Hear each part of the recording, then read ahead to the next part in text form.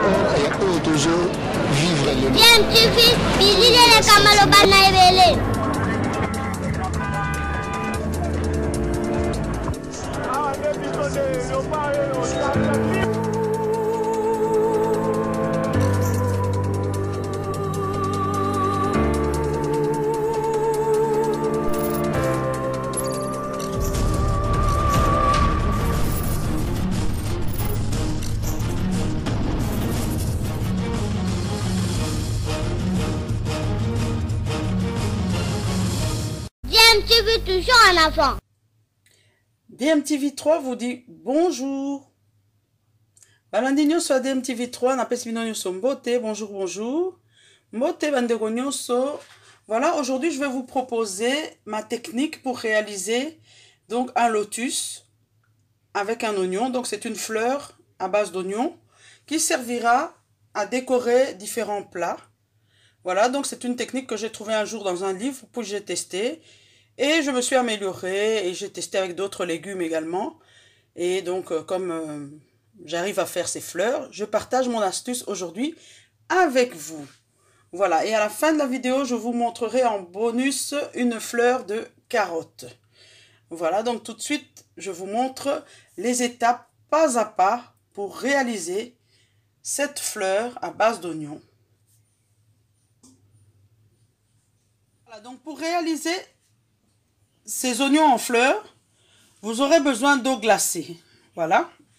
Donc votre eau doit être bien glacée. J'avais mis des glaçons, ils ont fondu. Là, j'ai mis un bloc de glace. Donc vous pouvez mettre, faire dans votre congélateur des blocs de glace comme ça. Ça va bien rafraîchir l'eau. Et je vais vous montrer différents oignons qu'on peut utiliser. J'ai pris ce que j'avais à la maison. Donc ici, on a des jeunes oignons qu'on appelle en lingala ndembi. En français, c'est ciboule, jeune oignon, oignon nouveau, oignon de printemps, oignon vert, mais ce n'est pas de la ciboulette. En anglais, c'est spring onion. Ici, nous avons une échalote. Et là, nous avons juste un oignon blanc, on va dire. On peut le faire aussi avec des oignons rouges, avec des oignons plus grands, avec des oignons grelots, avec toutes sortes d'oignons. Également avec des poireaux. Donc, à la place de ceci, on pourrait très bien avoir un poireau. Donc on va aller étape par étape. Donc pour faire euh, ces fleurs d'oignons à base de jeunes oignons, on va couper à peu près jusque là. Ceci on ne va pas utiliser. Je peux remettre ça dans le frigo, j'utiliserai ça tout à l'heure. J'ai mon assistante. On enlève un petit peu ceci. Toujours avoir une poubelle à proximité. Voilà, donc je vais utiliser le pot ici comme poubelle. Ensuite, on va éplucher l'échalote. Pour éplucher, veillez à ce que cette partie ne soit pas endommagée. Vous devez bien garder cette partie. Vous pouvez couper ici. Ensuite, éplucher. Et la même chose pour l'oignon. Ne pas endommager cette partie. Donc la partie où normalement il y a une espèce de cheveux. Puis là, vous pouvez couper. Et on va éplucher. Voilà, donc je vais éplucher.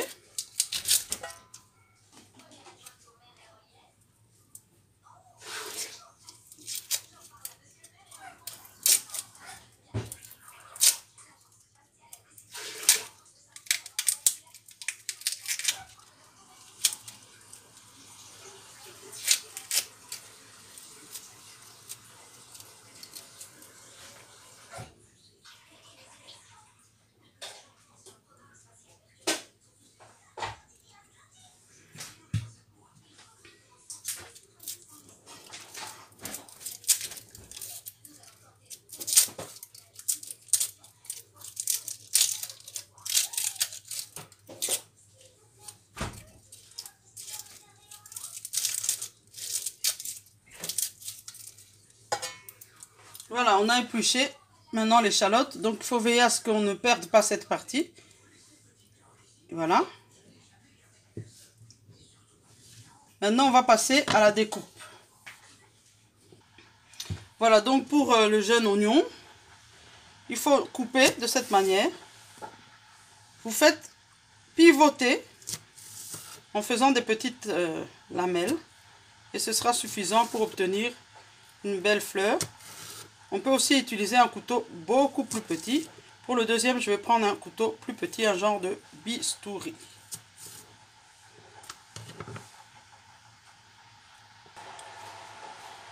Voilà, pour le deuxième, on va utiliser plutôt cet instrument. C'est un genre de bistouri. Voilà, on fait la même chose. J'espère que vous voyez bien le mouvement. Il suffit juste d'ouvrir en faisant pivoter pour avoir des lamelles comme ça. Et sous le contact de l'eau froide, de l'eau glacée, ça va s'ouvrir en forme de fleur. C'est juste ça. Voilà, vous voyez? Dans l'eau, voilà. Ensuite, on passe à l'oignon. Donc, je vous montre. On ouvre l'oignon en son centre, donc au milieu, comme ça. il faut faire attention, quand on s'arrête, toujours s'arrêter au même endroit. Donc là, on commence par le milieu. Puis on fait comme ça. Voilà. Ensuite, on continue. On a fait d'abord là. OK Puis on a fait là. Puis après, on va faire là et là. Et puis après, on peut encore faire plus petit. Voilà. Si on veut une fleur qui s'ouvre bien, on dépose et on ajoute entre... On divise encore en deux les sections. Voilà, c'est ce que je vais faire. On redivise les sections en deux en respectant la distance. Voilà, on redivise. Ça, c'est pour avoir une fleur beaucoup plus, avec beaucoup plus d'amplitude. Voilà. Là, normalement, on a notre oignon qui est là. On va juste le plonger dans l'eau glacée. Et quelques heures plus tard, ça va s'ouvrir. C'est sous le contact de l'eau froide que ça s'ouvre en fait. Et on fait la même chose pour l'échalote.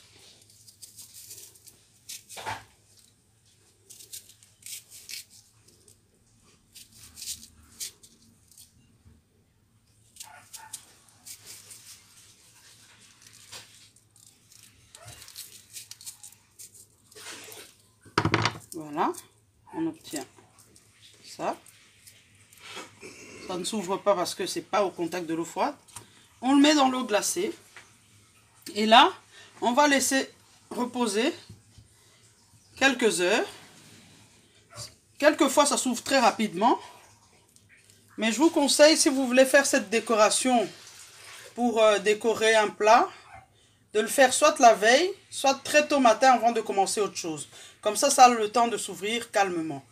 Voilà, on se retrouve tout à l'heure pour le résultat final. Voilà, donc ça évolue. Hein. Ça, c'est, on va dire 40 minutes plus tard, ça évolue. Donc, euh, certains oignons, au bout d'une heure, deux heures, c'est bon. Hein. Ça dépend de l'oignon, s'il est dur, pas dur.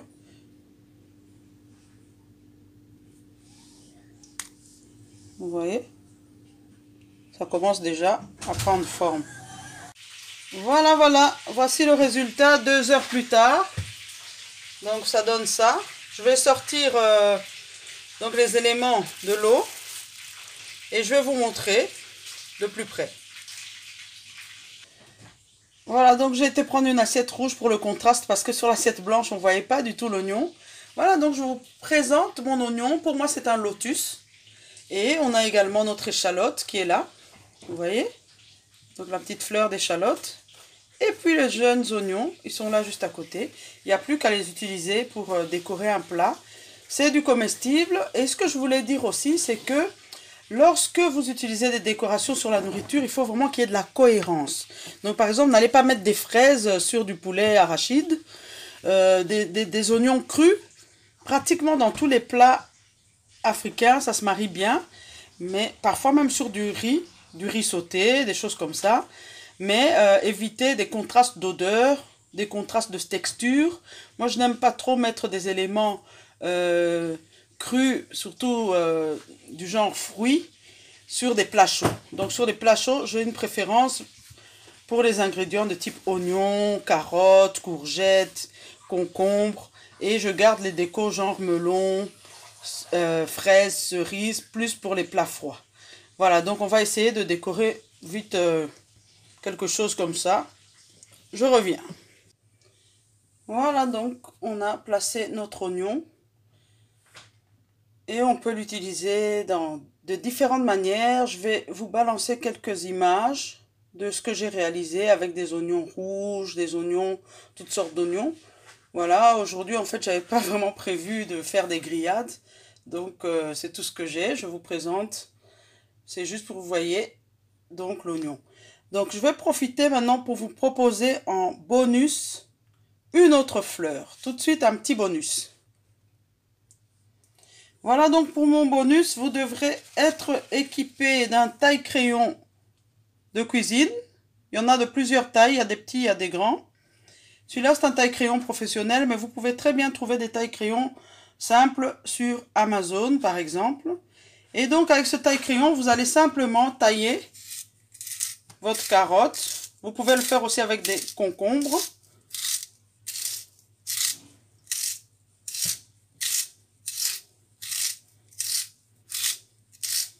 Voilà.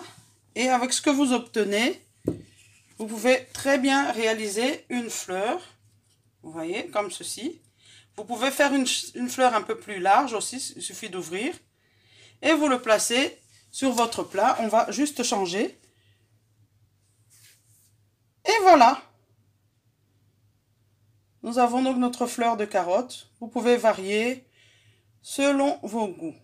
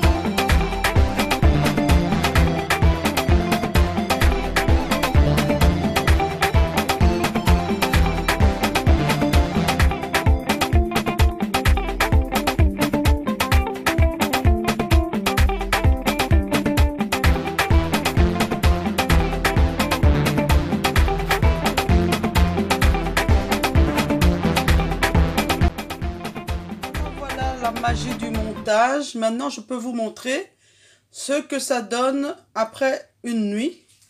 Donc, j'ai remis euh, ma fleur dans, dans l'eau glacée. Vous voyez que ça s'est beaucoup plus ouvert. Et les petites fleurs de, de ndembi à côté, donc des oignons nouveaux, il y a beaucoup plus de boucles. Le secret, c'est de laisser dans l'eau glacée. Et dès que l'eau n'est plus froide, si vous en avez l'occasion, avant de dormir, vous rajoutez des glaçons, ça va permettre l'ouverture. Vous voyez, là vraiment, c'est une fleur. C'est sans équivoque. Voilà donc, j'espère que ça vous a plu. Donc, euh, chers amis de notre chaîne DMTV, je vous dis à bientôt.